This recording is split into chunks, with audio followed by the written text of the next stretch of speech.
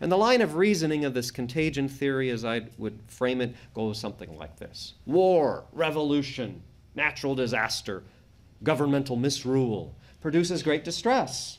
And that distress breeds radicalism, leads to unrest, and potentially violence. And consequently, Hoover was deeply concerned that World War I and other chronic problems overseas would produce radicalism, produce violence, produce instability, and perhaps even encourage populations that are beleaguered by famine and other difficulties to embrace political pathologies like communism. And he was not alone. President Woodrow Wilson, channeling Hoover, uh, would state hunger does not breed reform, it breeds madness.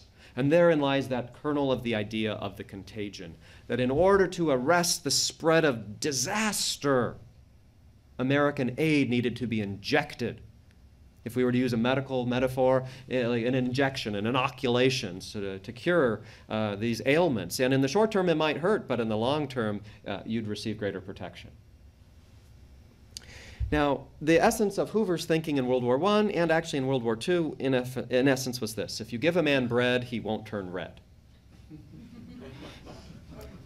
Now, it didn't turn out so well in Soviet Russia, uh, for Hoover at least, in the 1920s, but his confidence in this formula of American aid provides a baseline of stability so that prosperity can be achieved.